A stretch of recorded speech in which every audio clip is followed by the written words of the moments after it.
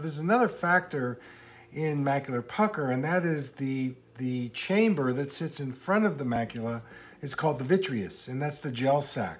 And it makes up the posterior two thirds of the eye. And what happens again as we age is that gel sac begins to shrink. Now it's made of mostly collagen, protein material, amino acids, water.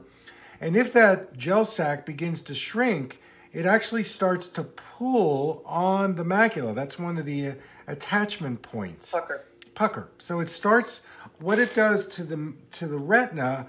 The retina is like a piece of cellophane. It starts to pull on that, it creates a wrinkling in the um, the attachment of where the macula is, thus macular pucker.